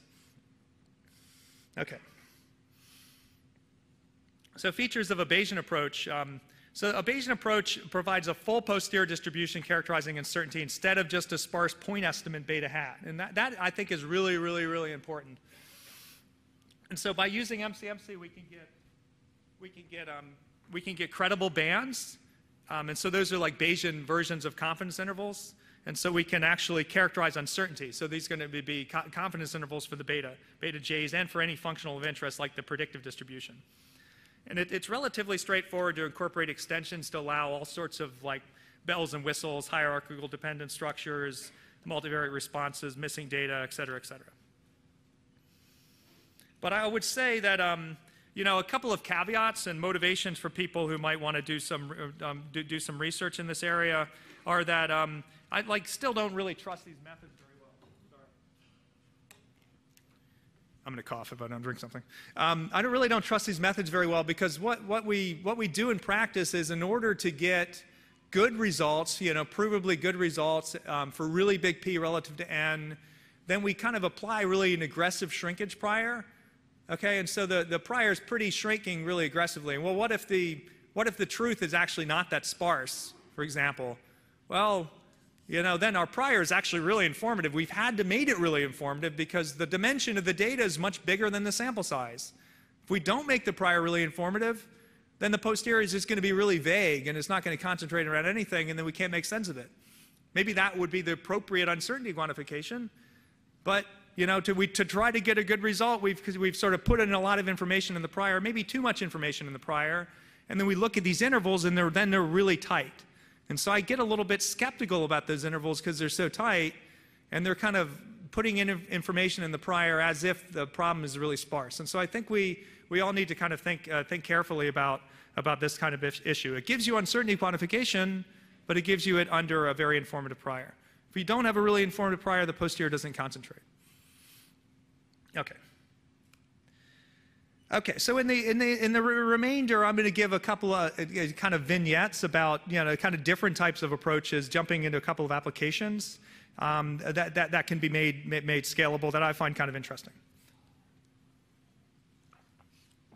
So here's one really cool application. So DNA methylation arrays. And so what's DNA methylation? And so, um, so we all have like our genome, you know, we have like our sequence, but actually there's all these CPG sites along our genome that can become methylated.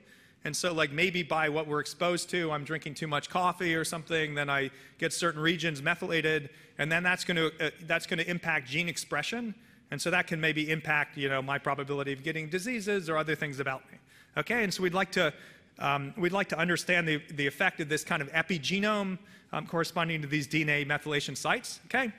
Um, and so now there's all sorts of like amazing biotechnology for measuring stuff like this, and so we can measure it across the whole genome at all of these different CPG sites. And so here we're analyzing data where we have 450,000 different CPG sites. There's even higher dimensional data available where we can look at across the entire genome for every individual in the study. Okay? So um,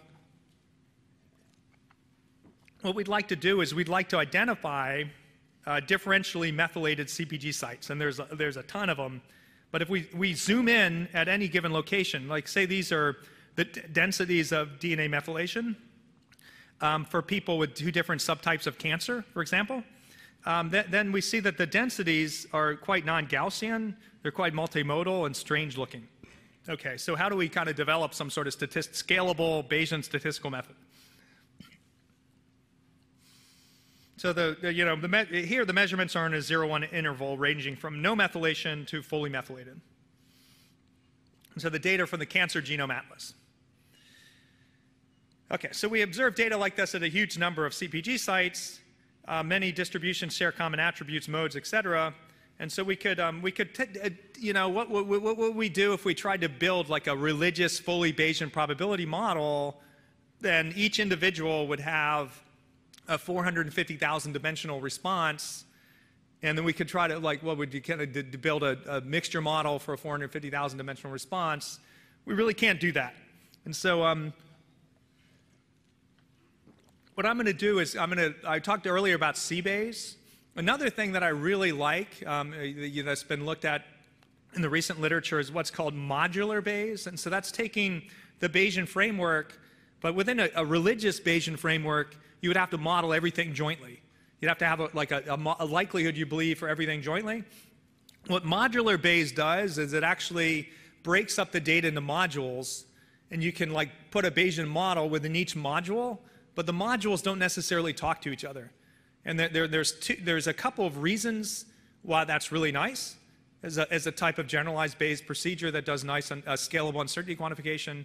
The first is that because the modules don't talk to each other, the model can be much more robust. And so sometimes fully Bayes joint models for, for high dimensional data can be um, uh, brittle to model misspecification, okay, as I talked about earlier. But also, um, and if we, if we have, um, uh, they're much less brittle if we use a modular approach where we're modeling pieces of the, of the data separately. Uh, another really big reason, of course, is then scalability, because if we're modularizing and we have piece, uh, models for pieces of the data separately, um, then we can potentially do computation separately as well. So what I'm, I'm, I'm going to do here is I'm going to do a type of dictionary learning, basically. So I'd like to characterize um, hundreds or thousands or millions of, of, these distributions using a small number of pieces and, and then reuse those pieces within a Bayesian model. So I'm going to use what's called a shared kernel mixture model, or SHARC. Okay, so we're going to use the same kernels across the sites and groups, but allow the weights to vary. Okay, so, um, so the methylation density at site J in group G, so the sites, so different sites along the genome. Uh, group is the different types of cancer group, okay? And so we could say, well, that, that, that density is FJG. So FJG of Y, that's the density of methylation um, at that, that site in that group. We can write that as a kernel mixture, okay? Um, of H components, and then we can put down some kernels, and now we're going to let the weights vary, but the kernels are common. So when you do that, we make the kernels common, we basically have like a ridiculously enormous, essentially infinite sample size for learning the kernels because we get this kind of blessing of dimensionality across the different CPG sites. And so we, can, we don't need to characterize uncertainty in learning the kernels because our data are so immense that if we characterize the uncertainty, the posterior would be just a point mass um, super concentrated on one value anyway. And so we're going to learn um, a fixed set of kernels and then put a posterior distribution characterizing uncertainty on the weights, with the weights vary across the different sites and groups. Okay, and so that's going to be the game. So these weights, um, pi jg, are weights specific to um, site j, group g. And so k is a shared kernel. So here we use the truncated normal. We, we, we can use any sort of like fancy kernel. Okay, so we're going to put a simple hierarchical model on the pi, uh, pi jg's, a Dirichlet in each group, um, and then we, we do a testing problem. Now we can do a scalable testing. I think testing is some, some problem that, that we often really have to do in, in scientific inferences, but machine learning people haven't focused on um, as much as I'd like. So um, here we have two different possibilities at each site. So the, the two different cancer subtype groups. They either have the same distribution of um, methylation or they have a different distribution of methylation. We'd like to identify the sites that are differentially methylated. Okay? And that's a, a multiple hypothesis testing problem. So we're going to put uh, Dirichlet priors on each of these uh, probability vectors um, within this hypothesis testing problem, and it's going to be automatically adjusting for a multiple testing error, um, controlling false discovery rate automatically within a Bayesian multiple testing uh, framework. And the computation is extremely fast because if we use fixed kernels, we get conjugacy everywhere else except for one little piece where we can just use a simple parallelized Gibbs sampler. And so we can run you know, this for hundreds and hundreds and hundreds of thousands or millions of different sites um, quite, quite seamlessly. And we have some theory I won't talk about. Okay, so, um, so we're to, we, we illustrated this using uh, uh, 597 breast cancer samples. Um, let's just show it for 21,000 CpG sites from this uh, Cancer Genome Atlas. And here just shows the, um, the probability of the uh, null hypothesis at each of the sites. So there's uh, 21,022, um, almost 1,000 sites. And so this is just a histogram of the estimated um, posterior probabilities that, that, uh, that there's no differential methylation. And so you see most of, most of the sites are like, there's no difference between the cancer subtypes. But here uh, there's a subset of site, sites having a high posterior probability of H naught, meaning uh, a, a, low posterior probability of H naught, meaning a high uh, posterior probability that there's a difference. Okay, and so we can test um, differences between basal like and not at each site, and the global proportion of no difference was 0.821. So this is pretty cool, and then we could, we could look at um, relationships with, with held out gene expression data and um, to, to kind of validate or have uh, essentially labels on the results. And when we do that, we can see that this does massively better than, than other types of methods that people might use, just doing independent testing and then false discovery rate control. So this kind of Bayesian, um, it's really kind of Bayesian non-parametric multiple testing method kind of really has uh, practical um, improvements. Um, and it, the usual multiple testing method for frequentists would like separately at each site get a p-value, and here, but they wouldn't be borrowing information across the sites. And so here, by using a Bayesian hierarchical model, you're borrowing information. Okay, so I'm going to give one, one, one last example before we, we run out of time, where we can do this same thing for really complicated um, outcome um, data. Okay, so um, so what we're doing is we're characterizing non-parametrically the distribution within each group at each site um, using this kernel mixture model, and then we're letting the weights vary. So we're putting all the action in the weights to allow for testing, differences among groups, covariates, et cetera. So we could do this in a really complicated settings. So let, us let, say we have, um, you know, brain connectomes, for example. And so here just shows like, uh, this is kind of a picture of you know, in any given individual, I've taken a brain scan of everyone in the room, and then I've, I've applied all this um, processing, and now I get, you know, the location of all these like white matter fiber tract bundles in your brain, and I have a million of those, and they're all um, spatially um, located, and that's my like complicated data I'd like to analyze. And I, I would say that that's what the where the action is going to be moving forward is like, well, how the hell do we like analyze this kind of amazingly rich data collected from this new biotechnology? Um, without just using kind of simple off the shelf methods, but, but having methods that are appropriate for really actually complicated data. Okay, so, um, so let's say we represent the data as xi, which is a network or a graph, really, for each individual. So xi uv is 1 if there's any connection between regions u and v for individual i, and xi uv equals 0 otherwise. Okay, so we need some sort of model for um, uh, non-parametrically characterizing variation in these brain networks across individuals. Okay, so well, xi is drawn from some p. What the hell is p? p is some distribution of, of random graphs. Okay, and, and they sure as hell don't follow some sort of stochastic block model or whatever the usual random graphs people use. So we can define some type of model, let's say for each brain region R and component H, we can assign some sort of individual specific score, and then we can put down a model, a, a simple hierarchical model, latent space model for um, brain networks. And so here is the, the logit of the probability that we have a connection between uh, regions U and V in the brain of individual I. Um, we can write as a, an intercept part that's common across the different individuals, characterizing commonalities in brain structure across different people. Um, and then we have this kind of, uh, you know, almost singular value decomposition or principal components type piece. Um, the, the, the, data are symmetric, and so we have like a sum from h equals 1 to k, different latent components, lambda ih, some, some weight um, specific to individual i, component h, and then we have some sort of eta, eta part um, characterizing um, specific to the different brain regions. Okay, and then we can, we can stack all the individual specific parameters into some theta i vector and, and those are sort of random effects characterizing variation across individuals.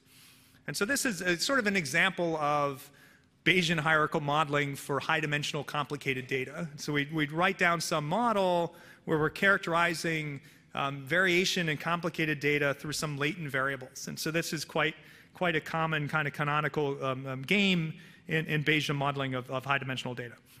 And then we don't know what the distribution of those random effects is, and so here we're going to use Bayesian nonparametrics to allow, to allow Q, the distribution of the random effects, and hence P, the distribution of the brain networks across people, to be unknown. Okay, okay so, um, so based on this framework, you're actually clustering individuals in terms of their brain structure, which is pretty cool. And we can test for relationships between brain structure and traits um, and genotype. Okay, so we just allow the weights in our mixture model to vary with, with, with traits with, with these fixed kernels. So the kernels are characterizing the kind of, you know, provide a dictionary with which we can characterize brain graphs. Okay, and so this allows scientific inferences on global and local differences in network structure with traits.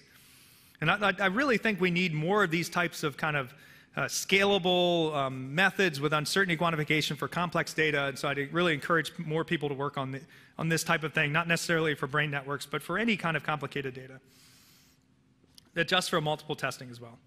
Okay, so here, here are some results. And so we, um, we applied the model to brain networks of 36 subjects, 19 with high creativity, 17 with low creativity, uh, measured with a, a, a, a, the composite creativity index. Um, the, it gives us a, an overall probability, a posterior probability that there's any differences in brain structure with, um, with creativity, and that was 0.995, which is quite strong evidence. And it also, we also, like you can see here, what, what, we did here is we, um, we, we, can flag um, statistically significant, after adjusting for multiple testing, um, differences in brain structure. And so a red, a red line would mean that people with um, with, with, with, with, low creativity have more connections um, um, in that location. And so a green line means less connections. So, so what this green line here means is that, that the, the individuals with low creativity have uh, significantly um, less connections between these regions. Okay? And so we can see a lot of green lines that are cross hemisphere connections in the frontal lobe of the brain. And so what that means essentially is that, that, that people who are highly cre creative have more cross-hemisphere connections, more, uh, more connections that occur in sort of unanticipated regions. Okay. And it was an, an, interesting side comment is we had a, um, we had a press release on this result, and um, there, you know, the, this left brain, right brain hypothesis, this whole thing where like left brain people are like more mathematical and right brain people are more creative or whatever. Um, the, the guy who came up with this, he's, he's deceased now, but his son um, contacted us and said, well, actually, his dad like ended up not believing the right brain, left brain thing at all. And what he ended up believing was much more consistent with our thing, which was there's not left brain, right brain, it's more interconnected brains that are more creative. The, the left brain, right brain thing is just bogus. Okay, so, um, so the, the idea, uh, just wrapping up, is that um, in this kind of modularization strategy, um, it, which I illustrated um, through that, that, that, that, that DNA methylation example, is we don't allow, allow for all the dependencies implied by the joint Bayesian model. Um, I think I kind of said that already. I think we have like five minutes. I'd like to take some questions, and so I'm just going to skip this.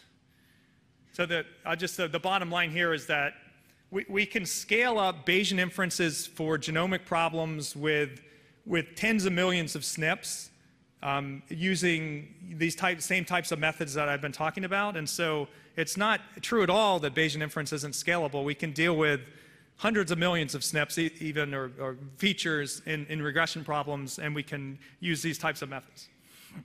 Okay, so um, discussion. So, so I kind of gave a brief intro to Bayesian methods for large P problems um, at the end of this talk, highlighted some recent work using shared kernels and modularization, I, would say there's really a rich literature that's just kind of beginning and an increasing focus on scalability, and I hope, hope to inspire some people to work more, more, more in these areas. Um, and, and, one important direction is to obtain methods for assessing when we're attempting inferences on too fine a scale for our data. I think that's really important to come up with more negative results. I mean, like, and these problems, I work with scientists all the time. I want to be able to tell them, like, actually, the questions you're trying to ask are not possible given the data you've provided me and the prior information that we have. And so if I'm going to answer your questions, then I have to put more prior information in the analysis than I actually have, which is probably a bad idea. And so therefore, maybe, maybe I can um, come up with a method that will say, no, you can't answer those questions.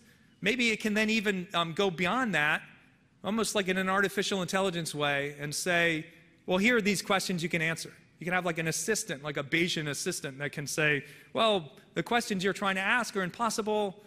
Why don't, you, why don't you ask these types of questions? These are the types of questions you can ask. You can't identify individual SNPs that are related to the phenotype. You can only identify regions of the genome, for example.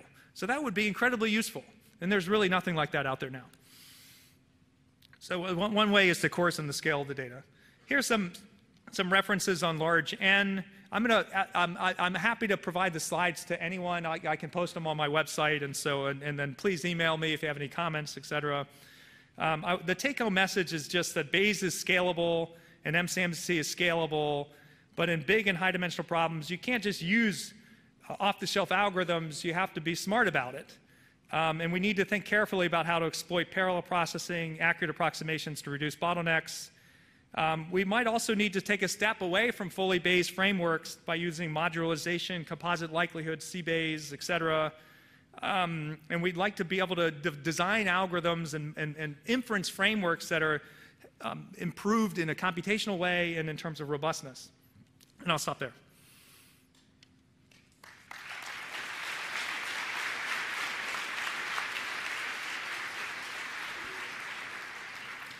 Thanks a lot, David. Very, very inspiring talk. So we have time for a few questions, if there are any. There are microphones here in the front, so pl please, uh, please use them.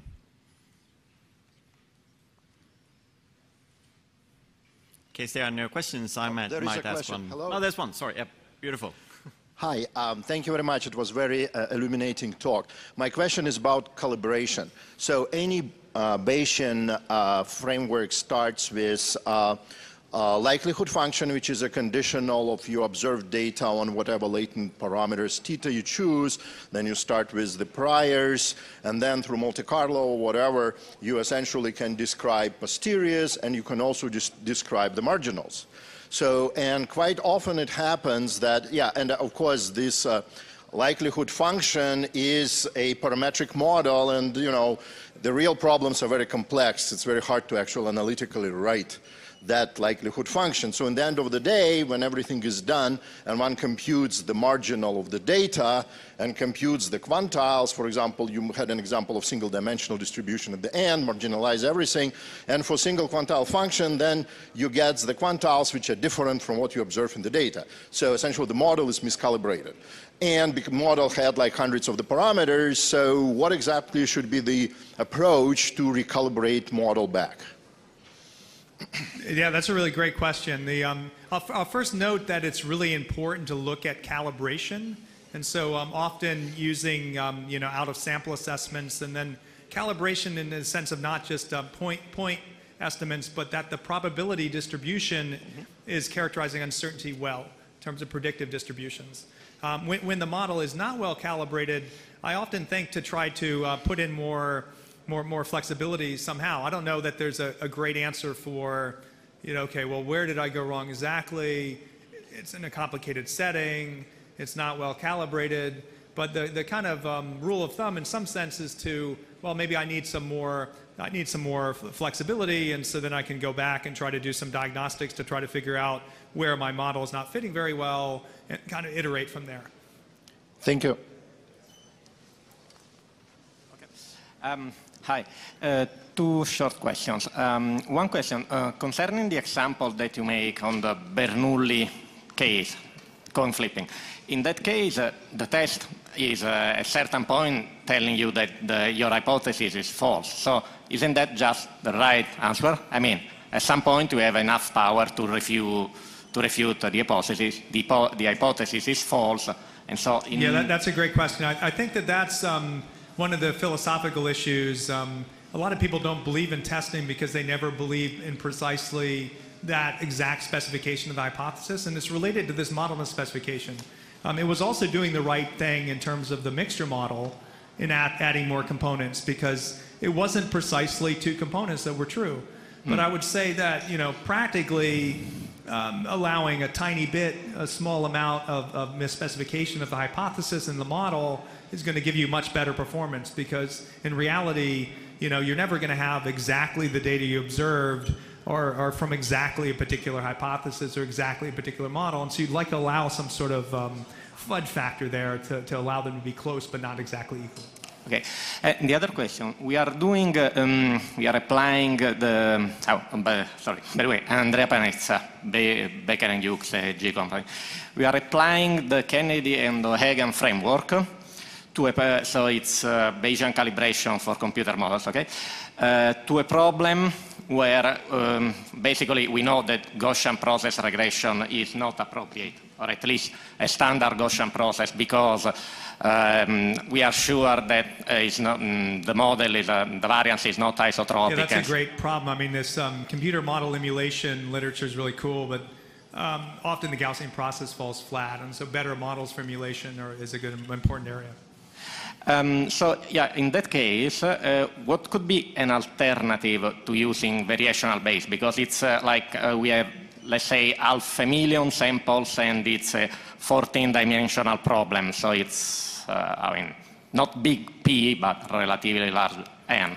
So instead, then trying variational Bayes that usually works Yeah, well yeah certainly you could use these EPMCMC um, kind of methods in that setting. Um, they, they've been used for Gaussian processes, but even if the Gaussian process wasn't didn't hold exactly, you could even use them for something like I know um, you know one of our projects is using deep neural networks uh, for emulation instead, and Um. and you can even run MCMC for deep deep neural networks, and you could do that um, in, a, in a parallel way, um, something like that.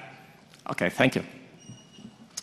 Um, I, was, I was also going to ask about the C-Bayes. I, I found that quite intriguing. And I guess um, it, it seems like what you've actually done there is replace having an explicit noise model with something non-parametric. So is, is, is actually what this is doing is corresponding to having some non-parametric noise model, but then, you know, it's just That's a great question. Yeah, we, we often get a lot of questions on C-Bayes whether it's like exactly the same as an explicit noise model, but it, it's sort of like avoiding specifying the noise model because the noise model might also be misspecified, et cetera. And so it is like being non-parametric, but not non-parametric in the Bayesian non-parametric way, which means a really flexible model, but more non-parametric in the classical way where you avoid modeling something. So my question is mostly referred in terms of scalability. Usually you said that probably most of the problems are kind of scalable in terms of like robustness. In which cases you have faced this challenge to scale, to make it scale or to where the actual training, the full training is much, much accurate that trying to do mini bootstraps, for example. Yeah, that's a great question. I mean, so so the um, so this is really a new literature, and so um, there are definitely areas that are not developed well at all. And I would say that that two of those are you know network structured data and time series data. And so if you have like a really like super long time series and you're trying to scale it up, like scale up these MCMC methods, there's almost no literature on that. There's a tiny bit by Emily Fox's group on hidden Markov models, but and we just posted a paper on, uh, on an arXiv on for hidden Markov models. But there's no like useful general methods, um, and that's even more true in the network case. Um, you know, we have uh, billions of you know users and products in this Alibaba collaboration, and we're kind of um, trying to trying to develop scalable Bayesian uh, me- methods in that case is a challenge because if you're just kind of subsampling or breaking up the data, well, how do you do that if the data are really dependent in like a network context? It's an open problem. So do you have a kind of initial guesses about that, especially for the time series data? Sure, yeah, yeah. Time series data, the, the initial guess would be to bin time, you know, and so if you have ch- chunks in, of adjacent time points, and then you can do um, computation um, in parallel for adjacent time points, that, then you can kind of do a lot in terms of scalability doing that. I think that that'll end up working quite well. Okay, thank you. Hi. Uh, thanks for your talk. It's very interesting. Um, I guess what wasn't really clear to me is uh, if we have a lot of data, are you really getting a different uh, conclusion using Bayesian methods versus using some more classical methods? Yeah, that's a great question. I, I mean, I think that um, you sh- hopefully shouldn't. You know, if you have, if you're like in a setting where you have a ton of data and the sort of number of parameters isn't that giant. So if oh, I have a logistic regression and I have you know, maybe 100, 100 predictors, but my sample size is 100 million or something, hopefully I'm getting exactly the same results. And, and we can show that theoretically, actually, with that Bayesian central limit theorem or Bernstein von Mises result. The Bayesian posterior is actually going to converge to exactly um, the, uh, around the maximum likelihood estimates, with the covariance being the inverse Fisher information. And so there's this um, well-known equivalence between between Bayes and frequentist methods. Um, where, where the equivalence doesn't hold is when you're in these more challenging problems, certainly, um, where you have, uh, you know, you, you, you have uncertainty r- remaining. Um, it's not well characterized by a large sample Gaussian distribution. Thanks. You mentioned that there's uh, orders of magnitude more people working on optimization, distributed optimization uh, techniques. Uh, is there any way or, or, literature of applying these optimization, distributed optimization techniques to scalable uh, Bayesian MCMC methods? That's a great question. I mean, that, that's actually what we were trying to do in that, um, that WASP method or something. Like, so we se- do separate sampling, but then use uh, modern optimization techniques for doing the, doing the combining. Uh, but th- there's also, um, you know, a, a, really amazingly cool literature that I didn't have time to talk about, like by people like Youssef Marzouk at, at MIT, um, uh, you know, trying to do things like, oh, let's try to sample IID from a multivariate Gaussian, but define some optimal transportation plan to the true posterior distribution, and then define some corresponding optimization problem, solve that optimization problem. Well, if I have the map, then I just, you know, take those independent samples and I transform them to get perfect samples from the posterior.